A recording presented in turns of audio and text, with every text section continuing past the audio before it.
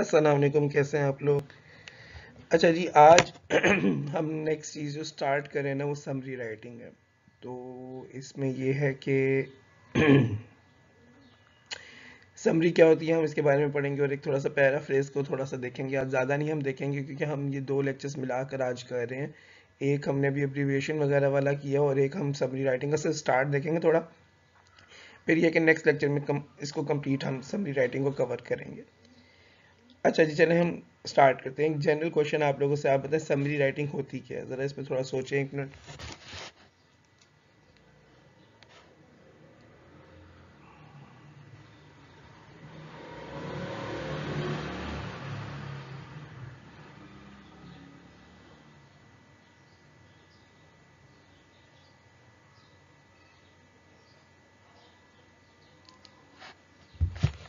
Summary writing हम करते आ रहे हैं। आपने को याद होगा ग्रेड नाइन टेंथ में कराया जाता है। ओ लेवल्स के एग्ज़ाम्स में कराया जाता है। ए लेवल्स का भी मुझे थोड़ा बहुत आइडिया आई थिंक उसमें भी है। आप समराइज कराते हैं। हम ग्रेड नाइन टेन में ना क्या करते हैं, वो क्वेश्चन स्किप करा देते हैं। नाइन टेन के अंदर हम पोएम्स की समरी कराते हैं। इंटरमीडिएट के अंदर ऐसा समरी नहीं होती। ठीक है? ओ और लेवल्स और ए लेवल्स के अंदर हम समरी किस तरह कराते थे कि वहाँ पे भी हम उन बच्चों को कहते थे कि पॉइंट्स लिखे, उसका समराइज करें पैराग्राफ बनाए। तो समरी समरी राइटिंग होती क्या इन जनरल समरी इज़ आप जो भी एक टेक्स्ट एक पोएम दी गई है, या शॉर्ट स्टोरी है, या आपने नॉवल पढ़ा है ड्रामा जब आप उसको समराइज करते हैं ना तो आप उसके मेन आइडियाज़ को ना एक पैराग्राफ फॉर्म में डिस्कस करके बताते हैं कि मेन उसका आइडिया क्या है। दिस इज़ समरी राइटिंग चले हम देखते हैं। ऑब्जेक्टिव्स ये जो हम पढ़ेंगे, इसमें हमारे क्या ऑब्जेक्टिव्स हैं? Given appropriate definition for a summary पहले तो हम ये देखेंगे कि समरी की डेफिनेशन क्या होती है। Second know the characteristics of a good summary फिर हम ये देखेंगे कि एक अच्छी समरी के क्या करेक्टरिस्टिक्स हैं, उसकी क्या खसूसियात हैं। क्या वो असेंशियल चीज़ें हैं? जब वो होंगी तो आपकी समरी जो है वो अच्छी कंसिडर की जाएगी। Third point is learn the techniques in summary writing आपने समरी राइटिंग में कौन सी जो टेक्निक्स हैं, उनको सीखना है समराइज करना है तो आपको ये पता होना चाहिए कि आप इन टेक्निक्स को यूज़ करेंगे तो आपकी समरी अच्छी होगी। Fourth point is learn the steps in summary writing फिर आपने समरी राइटिंग की टेक्निक्स के बाद जब उन्हें अप्लाई करना है तो वो स्टेप्स में करना है ना तो हम वो भी देखेंगे और साथ हम थोड़ी सी फिफ्थ पॉइंट इज़ प्रैक्टिस हम प्रैक्टिस भी करेंगे। चलें जी what is a summary summary होता, होती क्या a summary is a short and passage which retains the uh, essential information of the original. आपको ना एक ओरिजिनल पैसेज दिया जाता है। जो आपका ओरिजिनल पैसेज होता है ना आप उसे शॉर्ट करते हैं अपने अल्फाजों में लिखते हैं। जब आप उसे शॉर्ट करके अपने अल्फाजों में लिखते हैं ना उसे हम समरी कहते हैं। तो ये आप याद रखिएगा नॉर्मली क्या normally the case summary is always shorter than the original ऐसा नहीं होना चाहिए कि आपकी जो समरी है वो आपके ओरिजिनल से भी बढ़कर हो जाए। ठीक है? वो उसे कहते हैं तशरी तशरी इज़ अ डिफरेंट थिंग वो होती थी जिसमें आप एक्सप्लेनेशन होती है। वो आपकी, जो आपके ओरिजिनल वर्ड्स हैं उससे ज़्यादा हो सकती है। ठीक है? बट समरी जो है ना normally it is shorten than the original जो आपको ओरिजिनल पीस ऑफ़ राइटिंग दिया जाता है ना, आप उसे शॉर्ट करके अपने अल्फाजों में बताते हैं। पर्पज इस समरी का ये होता है कि आपको इतना बड़ा टेक्स्ट पढ़ना ही ना पड़े, आप सीधा समरी पढ़ें। समरी का एक ऑल्टरनेटिव जो होता है ना, आपके रिसर्च आप लोग कंसर्न है रिसर्च आर्टिकल से रिसर्च जर्नल से रिसर्च पब्लिकेशन से, उसके अंदर आपके जो होते हैं ना, उसमें होता है एब्स्ट्रैक्ट जो एब्स्ट्रैक्ट होता है ना, आपने अगर एब्स्ट्रैक्ट देखा हो तो एब्स्ट्रैक्ट जो है ना, वो आपकी सारी रिसर्च का एक इंट्रोडक्शन देता है, उसके बाद उसमें कीवर्ड्स होते हैं सेंट्रल पॉइंट्स होते हैं सपोर्टिंग डिटेल्स होती हैं फिर एक कंक्लूडिंग सेंटेंस भी होता है। तो आप देखिए, इतना बड़ा आपका रिसर्च वर्क होता है, जो 50 52 पेजेस पे भी होता है 100 प्लस पेजेस 120 150 180 पेजेस पे भी होता है समटाइम 80 89 पेजेस पे भी होता है। और उसका जो एब्स्ट्रैक्ट होता है, वो एक शॉर्ट सा हाफ़ पेज का एब्स्ट्रैक्ट होता है। और उसमें आपने वो सारी इन्फॉर्मेशन दे दी होती है, जिससे एक इंसान को पता चल जाए कि आपके क्या कहते हैं रिसर्च प्रपोजल किस बारे में, इसमें क्या किया गया, उसकी रिकमेंडेशन क्या, इसका कंक्लूजन क्या है। तो समरी का यही पर्पज होता है कि आपने जो इतना डिटेल चीज़ पढ़ी होती है ना, आप उसे समराइज फॉर्म में दें। ताकि अगर कोई और इंसान उसको पढ़ना चाहता है ना तो उसको इतना टाइम ना लगे। It is a fairly brief restatement brief आप मुख्तसर, लेकिन तफसील उसकी रखते हैं, आप मेन चीज़ें जहन में रखते हैं। In your own words of the contents of the passage तो इंपॉर्टेंट चीज़ क्या समरी जो होती है शॉर्ट होती है। दूसरा क्या असेंशियल इन्फॉर्मेशन नहीं आपने जानने देनी। ये ना कि आप समराइज कर रहे हो और क्या कहते हैं, उसकी जो कोई बड़े अहम उसके पॉइंट्स या इश्यूज़ थे वही आप निकाल दें। करेक्टरिस्टिक्स या मेन करेक्टरिस्टिक्स वही डिस्कस ना करें तो that will be a bad summary that will be a loose summary it doesn't have any advantage उसका कोई फ़ायदा नहीं। फिर एक और इम्पोर्टेंट पॉइंट ये that you have to write the summary in your own words don't borrow words from the original text जो आपका ओरिजिनल टेक्स्ट होता है ना, आप उससे वर्ड्स बोरो नहीं करेंगे। आप कोशिश करें कि आपने अपने अल्फाजों में लिखना है। अब इसके वेज होते हैं डिफरेंट आप सारे वर्ड, आप वो, अमूमन आप लोग क्या करते हैं सिनेम चेंज कर देते हैं। आप सिनेम चेंज करने के बजाय एक एक सेंटेंस को अपने अल्फाजों में लिखें तो ज़्यादा बेहतर है। बेस्ट यह है कि आप एक पैराग्राफ पढ़ें और उसको अपने अल्फाज में करें, फिर और पढ़ें, फिर और करें। इससे भी बेस्ट ये कि सारा पढ़ के जो आप रिटेन करते हैं ना, आप उस पर करें। और सबसे बेस्ट ये है कि आप पढ़ते जाएँ और साथ साथ पॉइंट्स बनाते जाएँ। जब आप साथ साथ पॉइंट्स बनाते जाएँगे ना तो आपके पास चीज़ें रिटेन हो जाएँगी कि अच्छा आपने किस बारे में बात करनी है, या टॉप उसकी रेलिवेंट पॉइंट्स क्या थे कोई असेंशियल इन्फॉर्मेशन मिस नहीं होगी। बेस्ट यही है कि आप उसके पढ़ते हुए ना असेंशियल पॉइंट्स जो है ना की पॉइंट्स उसके साथ असेंशियल पॉइंट्स निकालते रहे। उससे ये होगा कि असेंशियल इन्फॉर्मेशन आपके पास होगी, आपको पता होगा रेलिवेंट क्या क्या है। फिर अगर कुछ एग्जाम्पल्स वगैरह वो निकाल दे, जो असेंशियल है ना, उनको अपने अल्फाजों में लिखे शॉर्ट करके तो वो आपका समरी हो जाएगी। ठीक है? तो समरी जो होती है ना it is a shortened passage of essential information in your own words of the contents of a passage एक पैसेज के जो कंटेंट है ना आप उसको समरी समरी में आप उसे शॉर्ट करके लिखते हैं I hope it is clear. Note, you simply report back what the writer has said without making vague value judgments. अच्छा ये बड़ा इंपॉर्टेंट है समरी के अंदर जिस तरह आपने रेलिवेंट या असेंशियल इंफॉर्मेशन को आपने स्किप नहीं करना। बिल्कुल इसी तरीके से समरी में ये चीज़ भी बड़ी इंपॉर्टेंट है कि आप उठा के अपने वर्ड्स में कुछ चीज़ें ऐड ना कर दें। सिर्फ़ वही रेलिवेंट नहीं है जो उसमें मेंशन नहीं किया गया। कुछ पॉइंट्स रेलिवेंट हो जाते हैं। हाँ वो भी रेलिवेंट है। सॉरी सिर्फ़ वही रेलिवेंट नहीं है जो एग्जांपल्स और इलस्ट्रेशन है। वो भी रेलिवेंट है जो उसमें बात की नहीं गई और आप खुद से लिखी जा रहे हैं। सपोज़ आप बात करते हैं ड्रग एडिक्शन की। ड्रग एडिक्शन में उसने बात की है सोसाइटी के ऊपर इफेक्ट्स की और उसने बात की कि uses of drugs in medicine और फिर उसने बात की है कि ड्रग जो है वो डिस्ट्रॉय कर देती है आपके यूथ को ठीक है? अब उसने इस टॉपिक पे सारे बात किया। आप ऐड कर देते हैं ए, क्या कहते हैं कि जो ड्रग एडिक्शन है ना क्या कहते हैं ड्रग एडिक्शन का आप कोई ऐसा पॉइंट लेकर आ जाते हैं जिसका उसने ज़िक्र ही नहीं किया हुआ। तो उसने बात ही नहीं की हुई। जो ओरिजिनल टेक्स्ट है ना, उसमें बात नहीं फॉर एग्जांपल ड्रग शीशा शीशा की बात नहीं हुई उसके अंदर। वो सिंपल ड्रग एडिक्शन के बारे में बात कर रहे हैं। आप कहते हैं राइटर जो वो शीशा के बारे में बात कर रहा था कि जो शीशा it's a very harmful source of drug addiction youth should be educated to avoid it अब ये बात तो उसने अपनी की ही नहीं है। तो अगर आप ये बात समरी में लेकर आ जाते हैं तो दैट इज़ इरेलीवेंट तो ये चीज़ें समझने की कि जो पॉइंट्स इरेलीवेंट उसके अंदर सच एग्जांपल्स और इलस्ट्रेशन जो आपने समरी करते हुए निकालने इसी तरीके से अगर आप एक्स्ट्रा इन्फॉर्मेशन खुद से ऐड कर देते हैं ना तो वो भी इरेलीवेंट ही है। सिंपली जहन में रखें नोट बस ये ज़रूरी जहन में रखें आप, हिदायत। You simply report back what the writer has said without making value judgements आप राइटर ने जो कुछ कहा, बिल्कुल वैसे ही बताते हैं। और उसमें आपने दूसरा यह काम ये भी करना है, आपने अपने कमेंट्स नहीं करने। आप क्रिटिकल अप्रिसिएशन शुरू कर दीजिएगा कि जी राइटर ने ये कहा है, इसका मतलब ये भी हो सकता है, इसकी इंटरप्रिटेशन की है मुझे ये लगता है। फॉर एग्ज़ाम्पल अब ड्रग एडिक्शन के वो हार्मफुल ड्रग एडिक्शन के वो यूजेस की बात कर रहा है, और उसने कहा कि मेडिसिन में यूज़ होता है। तो आप ये ना शुरू हो जाइएगा कि drug addiction sorry drug addiction drugs का यूज़ मेडिसिन के अंदर कुछ परसेंट है जो होता है और ये बेनिफिशियल है मेडिसिन में। तो आप उसे कहें कि जी वो मेडिसिन के लिए uh, क्या कहते हैं मेडिसिन में ड्रग्स के यूजेस होते हैं और ये बेनिफिशियल है तो इस तरह आम इंसान की ज़िंदगी में भी अगर आम इंसान यूज़ करे तो उसके भी बेनिफिट्स हो सकते हैं उसको भी यूज़ करना चाहिए। अब ये बात राइटर ने की ही नहीं है तो आपने ये बात खुद से नहीं करनी और आपने वैल्यू जजमेंट्स भी नहीं देनी। आपसे समराइज करें आपने सिर्फ़ ये फोकस रखना है कि राइटर ने क्या कहा आप सिर्फ़ ये बताएँ कि राइटर ने क्या कहा आपने इवन ये भी नहीं उसमें ऐड करना कि राइटर ने जो ये बात की है, वो गलत है, सही है, या आपका अपना ओपिनियन क्या है? राइटर ने कहा कि ड्रग ड्रग्स जो है, वो मेडिसिन में यूज़ होती हैं, उनका बेनिफिशियल इफ़ेक्ट है। अब आपने इस पर कमेंट नहीं करना शुरू कर देना कि राइटर ठीक कह रहा है या राइटर गलत कह रहा है। वैल्यू जजमेंट्स आप लोगों ने नहीं देनी। I hope is it is clear is it clear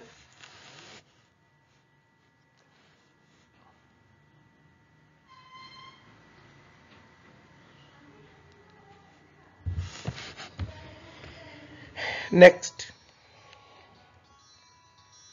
एक मिनट, मुझे कॉल आ गई रुकिएगा। हाँ वालेकुम हाँ अस्सलाम क्या हुआ?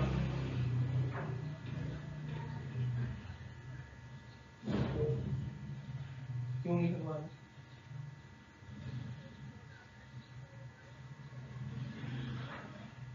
चलो, मैं आता हूँ दस मिनट।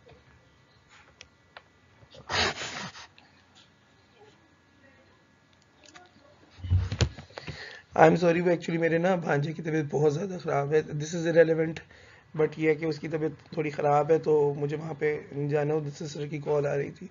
सारी रात से ख़राब थी। तो खैर, मैं ये रिकॉर्ड करके जाऊँगा, ताकि आपका ना लेट ना हो, कल आपको ये मिल जाए टाइम से। I am really sorry for this and thanks for your cooperation you people have been very cooperative may Allah bless you okay ji next देखिएगा। Characteristics of a good summary एक अच्छी समरी के क्या characteristics होते हैं? It can be understood without reference to the original ये best है जी। आपकी समरी बेस्ट उस वक्त है कि आप ओरिजिनल को पढ़े बगैर अंडरस्टैंड कर लें। समरी से अंडरस्टैंड कर लें तो इसका मतलब है कि आपने जो समराइज किया ना, वो बेहतरीन है। आपकी समरी जो है वो असेंशियल वो एक शॉर्ट वर्जन भी है। उसमें असेंशियल एलिमेंट असेंशियल इंग्रेडिएंट्स जो पॉइंट्स है, वो भी हैं। और उसके अलावा जो, क्या कहते हैं ओरिजिनल के अंदर जितनी भी रेलिवेंट चीज़ें थी, वो भी थी, और आपने अपने अल्फाजों में बताया। तो अगर आप अंडरस्टैंड कर रहे हैं ना समरी से सब कुछ ओरिजिनल को रेफर किए बगैर तो it is a best summary second it is is a faithful reproduction of और कंटेन्स ओनली द आइडियाज़ और इन्फॉर्मेशन ऑफ़ द ओरिजिनल ये बड़ा इंपॉर्टेंट है। फेथफुल रिप्रोडक्शन क्या होता है? फेथफुल रिप्रोडक्शन ये होता है कि आपने वही पॉइंट्स ऐड किए हों जिनका राइटर ने ओरिजिनल पैसेज में ज़िक्र किया है। ये ना हो क्या वो पॉइंट्स ऐड कर रहे हैं जो राइटर ने कहीं नहीं है। राइटर के वो आइडिया ही नहीं है। ठीक है तो have to be very particular about this that you don't miss out those uh, that you don't add any information which is your own.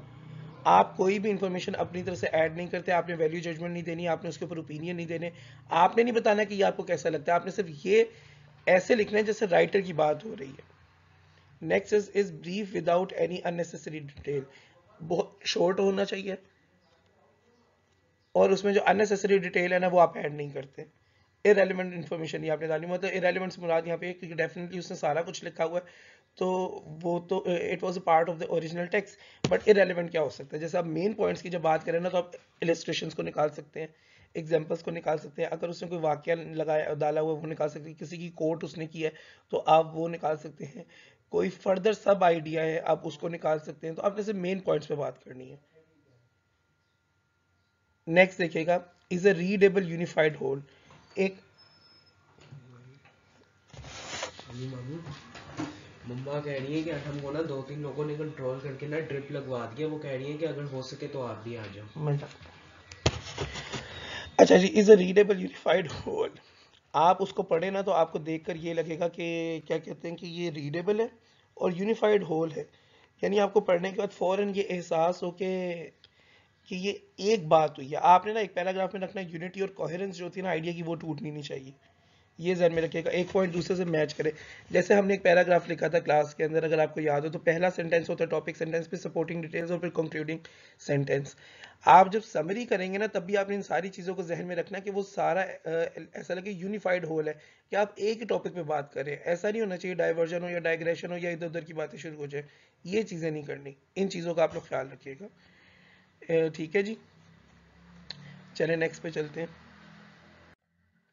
Techniques in summary writing summary writing की जो technique है ना, उसमें से एक technique है paraphrasing paraphrase क्या होता है? पैराफ्रेज ये होता है कि आप अपने वर्ड्स में किसी चीज़ को बताते हैं।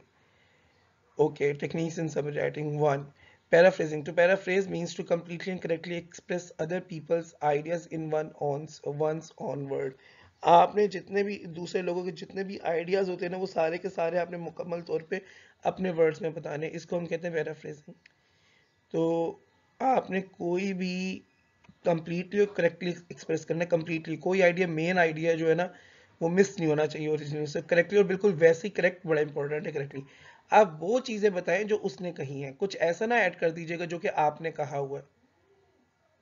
समझ रहे हैं ना? ये बड़ा इंपॉर्टेंट है. कोई वैल्यू जजमेंट नहीं देनी. कोई आपने, मैं बार बार इन चीज़ों को रिपीट करूँ ताकि आपके जहन में बैठ जाए कि समराइज करते वक्त एक तो आपने कोई भी इंफॉर्मेशन अपनी तरफ़ से ऐड नहीं करनी जिसका ज़िक्र जो है राइटर ने नहीं किया। क्योंकि बाज़ किसी टॉपिक पे हमारी अपनी भी इंफॉर्मेशन बहुत ज़्यादा होती है तो हमारा दिल होता है कि हम वो ऐड कर दें। या हम वो बात करते करते लिख जाते हैं तो वो गलत हो जाएगा। That would be wrong that would be incorrect so it is better not to add any idea of your own and the next thing is don't give any judgement और ओपिनियन और वैल्यू पोजिशन आपने ये नहीं बताना कुछ अपना writer ने जो बात की अब एज इट इज़ लिखे, आप उसके अंदर अपना कुछ ऐड ना करें। ये बात बार बार रिपीट हो रही है तो आपने इस पर बहुत ज़्यादा ज़ोर रखना है।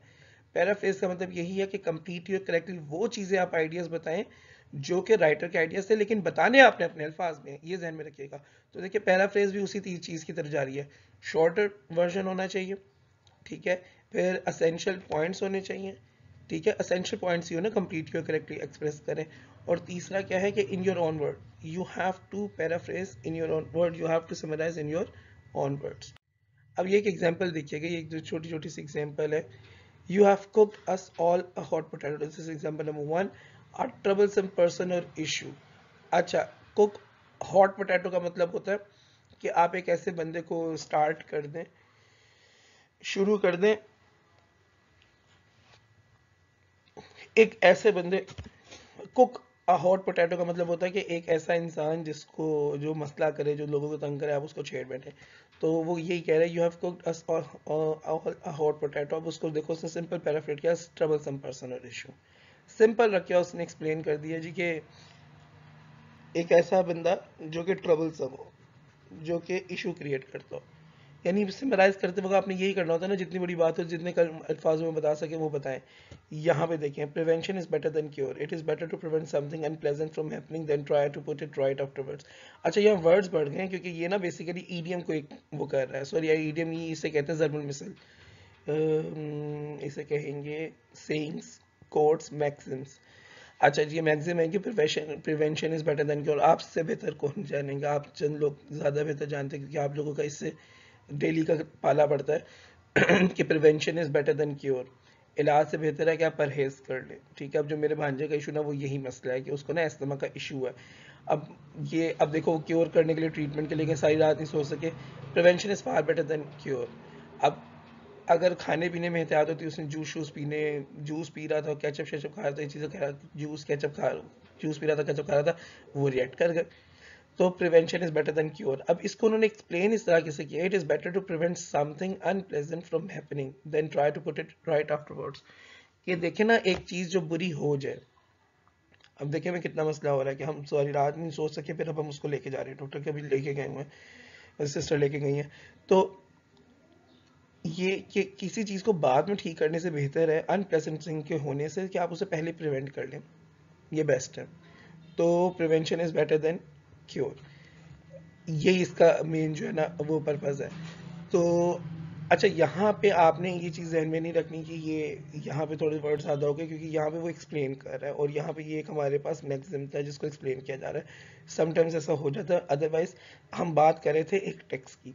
जब भी आप एक लार्जर टैक्स से डील करेंगे ना तो आपके पास इतनी इन्फॉर्मेशन होगी, इतनी ज़्यादा इन्फॉर्मेशन होगी कि आपको क्या कहते हैं ज़्यादा इन्फॉर्मेशन होगी। जब आपको कंडेंस करना होगा तो आपको एक अच्छा खासा मटेरियल उसके लिए मिल जाएगा। चलें अब थोड़ा सा बस यहीं पर आज रोकेंगे। थोड़ा सा समराइज़ करते हैं। आ, हमने ये पढ़ा है कि समरी क्या होता है। समरी ये होती है कि आप ओरिजिनल पैसेज को जो आपको गिवन है जर्नल हो गया आर्टिकल हो गया न्यूज़पेपर से कुछ मिल गया ये बुक है कोई भी चीज़ है कोई आप रिसर्च आर्टिकल पढ़ें आप उसे शॉर्ट वर्ड में लिखते हैं। इस तरीके से लिखते हैं कि उसके जो असेंशियल इंग्रेडिएंट्स हैं, जो उसके असेंशियल पॉइंट्स हैं, जो उसके असेंशियल करेक्टरिस्टिक्स हैं, आप उनको रिटेन करते हैं। किसी भी सूरत में वो आपसे मिस नहीं होने चाहिए स्किप नहीं करने। और ये है कि समराइज जो करते हैं ना, आप अपने वर्ड्स में करते हैं। You don't borrow words from the writer from the writing of the writer आप राइटर की राइटिंग से वर्ड्स को बोरो नहीं करते। ये आप लोगों ने अपने जहन में बिठा लेना है। अब ये आपने किस तरीके से करना है? ये आपने इस तरीके से करना है कि कोई चीज़ जो आप जब समराइज कर रहे हैं तो ओरिजिनल में आपने देखना है कि कोई चीज़ जो आपको इरेलीवेंट लगता है, लग रही है तो आप उसे ओमिट कर दें। आप उसे स्किप कर दें। इसी तरीके से आपने खुद से भी कोई पॉइंट ऐड नहीं करना है that would also be relevant वो भी रेलिवेंट होगा। And the main thing is आपने खुद से वैल्यू जजमेंट नहीं देनी। आपने सिर्फ़ ये बताना है कि राइटर ये कहता है, या ये राइटर का पॉइंट है कि या उसने राइटर ने ये बात की है। इशू तब आता है इशू जब आता है, इशू ये है कि जब आप खुद से पॉइंट ऑफ़ व्यू देना शुरू कर देते हैं ना कि आई थिंक आई बिलीव और ये होना चाहिए था, ऐसा है, मेरा पॉइंट ऑफ़ व्यू ये है, मेरा वैल्यू ये है, मेरी वैल्यू जजमेंट ये जजमेंट ना दें हम। हम लोगों का एक बहुत बड़ा मसला that we have very judgement people हम पाकिस्तानी में तो वैसे बड़ा मसला है, इसलिए हमारा वो इशू जो है ना हमारा लिखने में भी आ जाता है। जब हम राइटिंग कर रहे होते हैं ना तो हम किसी का बता रहे होते हैं कि उसके क्या पॉइंट ऑफ़ व्यू है, साथ हम अपने पॉइंट ऑफ़ व्यू देना शुरू कर देते तो हमें पता भी नहीं चलता। तो आपने इस चीज़ का ख्याल रखना है कि आप लोगों ने जजमेंटल नहीं होना। पैराफ्रेज सॉरी समरी की गुड समरी क्या है, उसके करेक्टरिस्टिक्स क्या है? एक करेक्टरिस्टिक्स तो उसका यही है कि आप इजीली उसे अंडरस्टैंड कर सकें। फिर ये है कि वो ऑनेस्ट रिप्रोडक्शन हो ओरिजिनल की भी शॉर्ट होनी चाहिए। फिर इसमें टेक्निक्स में, पहली टेक्निक का पैराफ्रेज पैराफ्रेज किस तरह करते हैं कि आपने वही राइटर के जो आइडियाज़ है ना करेक्टली और कम्प्लीटली बताने बताने सारे हैं। इरेलीवेंट कोई ना हो। और इरेलीवेंट ऐड ना हो रेलिवेंट को मिस ना हो, कोई चीज़ मिस नहीं करनी, फिर करेक्टली करेक्टली से मतलब ये है कि आपने वही बताना है जो कि राइटर ने कहा, खुद से चीज़ें ऐड नहीं करनी। तो अभी तक हमने इतनी टेक्निक्स की हैं। बाकी हम इंशाल्लाह नेक्स्ट लेक्चर में करेंगे। अपना ख्याल रखिएगा।